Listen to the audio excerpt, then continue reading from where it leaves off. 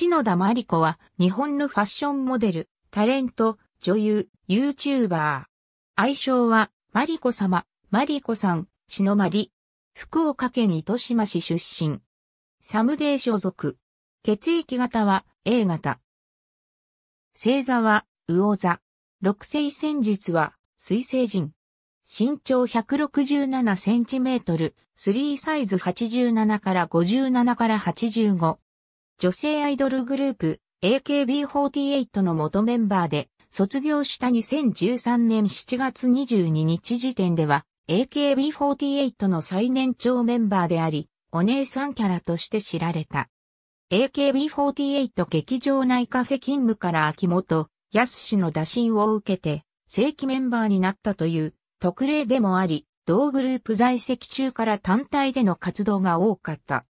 また、2008年11月号から2018年7月号まで、女性誌、モアの専属モデルを務めた。各種テレビ番組や CM、雑誌などを舞台に幅広い活動を展開している。福岡県糸島市出身。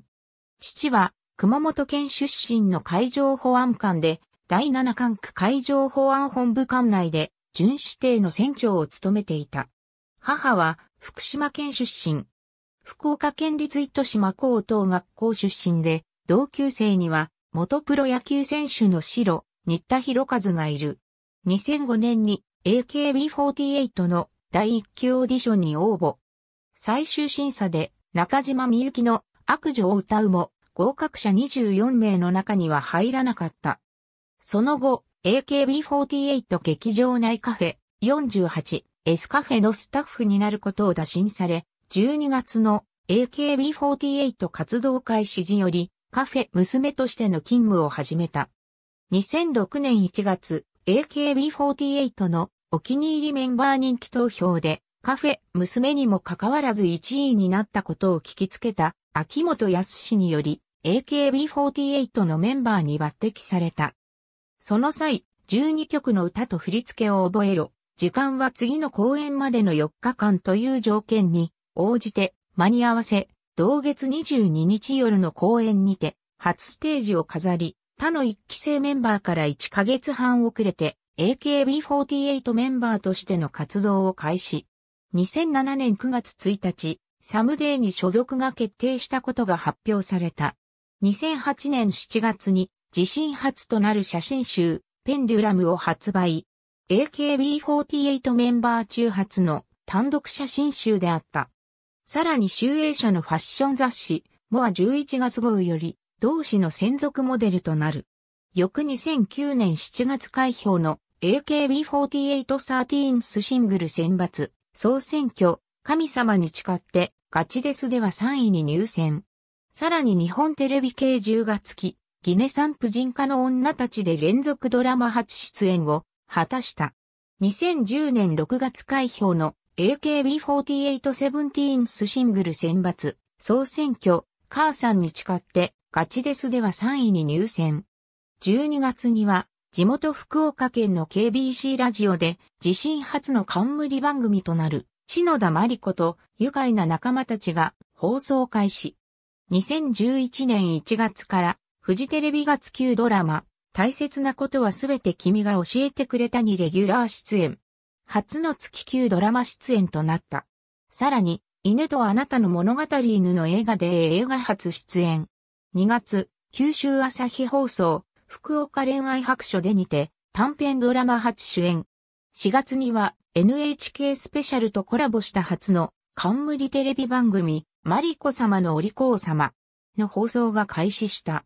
6月開票の AKB48 にセカンドシングル選抜、総選挙、今年もガチデスでは4位に入選。翌7月配信開始のリスも、くるみ用品店で初の連続ドラマ主演を果たす。そして9月の AKB48 にホースシングル選抜ジャイケン大会で優勝。これによって AKB48 の24枚目のシングルで自身初のセンターポジションと AKB48 総出演、ユーハミ格闘、プッチョのテレビ CM におけるセンター権を獲得した。10月に東方シネマズ劇場上映のショートアニメ、神とロッペ、回覧版編で初めて声優として出演。さらに11月公開の映画、サラリーマンネオ劇場版で初のコメディ映画出演。同時期に発売した自身初のファッションブック、マリコマガジンは、初版12万部長を売り上げすぐさま増刷の運びとなった。そして12月発売の AKB48 のシングル、上からマリコで初のセンターポジションへ。メンバーの名が楽曲の題となったのは AKB48 グループ史上初のことで AKB48 史上歴代3位にあたる95.9万枚の初動売り上げを記録した2012年、ツタンカーメン店黄金の秘宝と少年王の真実のスペシャルサポーターに就任、同年、ウェディングドレスメーカー、クラウジアの自身のプロデュースによるウェディングドレスのお披露目と新ブランド、ラブ、メアリーの立ち上げを発表。5月のファッションイベント、ガールズアワード春夏季公演では開幕のトップバッターとして舞台に登場。ファッションショーのトップを飾るのは AKB48 メンバーで初のことであった。6月開票の AKB48 にセブンスシングル選抜総選挙では5位を獲得。8月24日 AKB48 イン東京ドーム1830メートルの夢初日、公演において、AKB48 グループ、総監督に就任する高橋みなみに代わり、チーム A キャプテンに就任することが発表された。8月29日、福岡市が開設した仮想の区である河合区の区長に任命され、翌年2月19日に福岡市側の事情で退任するまで務めた。9月18日に開催された AKB48 にナインスシングル選抜ジャイケン大会では5位となった。10月9日、ネイルクイーン2012のアーティスト部門を受賞したことを発表した。11月1日、チーム A キャプテンに就任。2012年12月2日にファッションブランド、リークーリを立ち上げ、プロデューサー兼デザイナーとして、2013スプリングサマーコレクションよりデビュー。12月11日、日本モニターによる2012年タレント CM 起用者数ランキングにおいて、板野智美と並び、女性部門最多となる20社の CM に起用されたと発表された。2013年9月28日に開催されたガールズアワード2013オータムウィンターにおいて、格安航空会社ピーチアビエーションとのコラボレーションを発表。同年10月27日には、この日から運行を開始する関西成田線の初便に、同社公認の CA として乗務した。2015年3月27日に、福岡や福岡、ドームで開催された福岡ソフトバンクホークス対千葉ロッテマリーンズ第1回戦において始球式を務めた。2019年2月16日に3歳年下の一般人男性と結婚したことを2月20日に発表した。同年10月22日、第一子を妊娠中であることを結婚パーティーで明らかにし、同月30日、インスタグラムで公表した。2020年4月1日、第一子女児の出産を報告。6月30日放送の篠田真理子のグッドライフラボで産休から復帰。同年8月3日、YouTube に公式チャンネル、篠田マリコンへを開設した。2021年5月6日、日本マザーズ協会が主催する第13回ベストマザー賞2021芸能部門を受賞。同年6月17日には、同協会公認の子育て応援、ママ応援大使に就任したことが発表された。加入初期のニックネームはマリリンだった。AKB48 のメンバーの中で最長身であった時期がある。2011年のシングル、上からマリコのタイトルも、その点に着目してのものであったという。NTT ドコモによる2011年の調査企画、憧れる長身美人の若手芸能人ランキングにて3位に入選している。AKB48 随一のスレンダーな肉体の持ち主で、それを活かして雑誌、モアの専属モデルとして活動。スタイル維持の方法として、週あたり5回、最低でも1回は筋トレを行う旨を同志上にて明かしている。AKB48 の中でも同性すなわち女性からの支持が高いメンバーとして知られてきた。167センチメートルの長身に細身のモデル体型であることや、同グループ最年長の姉5キャラほか、その目の魅力への支持などがその理由に挙げられている。AKB48 のナンバーワンファッションリーダーと言われる。2012年第4回 AKB48 選抜総選挙の現場における女性ファン対象の実地調査、おしゃれだなと思うメンバーでは、小島春菜や板野智美を抑えて1位となっている。在籍当時は AKB48 内の最年長メンバーであったこともあり、常日頃から卒業を噂される存在であることに、対して2012年の AKB48 にセブンスシングル選抜総選挙で5位となった際のスピーチではこう断言していた。後輩に席を譲れという方もいるかもしれません。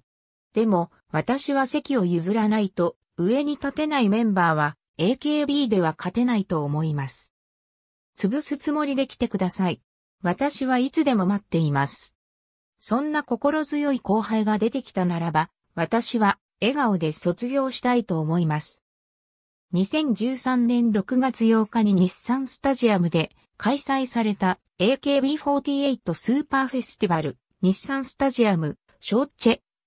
ちっちゃくないし、第2部の AKB48 セカンドシングル選抜、総選挙開票イベント、夢は数とじゃ見られないでは、前年に引き続き、第5位となったことが発表されたが、壇上スピーチにおいて、7月の福岡ドーム公演を区切りにしたいとして、AKB48 から卒業することを表明した。総選挙後の6月15日に AKB48 運営サイドから7月21日の福岡ドーム公演にて篠田真理子 AKB48 卒業セレモニーを取り行うことが正式に発表された。2013年7月21日に福岡や福奥ドームにて開催された AKB482013 真夏のドームツアーまだまだやらなきゃいけないことがある2日目公演で実施された卒業セレモニーの中で次期キャプテンとしてチーム A 横山由依を指名した。そして翌7月22日に開催された最終劇場公演をもって AKB48 を卒業。在籍7年半で NHK 紅白歌合戦出場を5回、日本レコード大賞受賞2回等の実績を残した。同年10月18日、東京ディズニーシーで行われたスペシャルショー、ハロウィン、パーティーウィズ AKB48 に出演、卒業後88日ぶりに人よ限定で復帰した。2020年8月23日放送の24時間テレビ、愛は地球を救うに、前田敦子、高橋みなみ、板野智美と共に出演し、AKB48 の現役メンバーと共に、離れていても、を歌唱した。2021年5月22日、横浜、ピアアリーナ MM で開催された、峯岸みなみ卒業コンサート桜の咲かない春は、内にサプライズ出演。最後まで残った一期生の峯岸みなみや、現役メンバーと共に、上からマリコを歌唱した。ミュージックビデオ過去ランウェイその他、ブログ動画。ありがとうございます。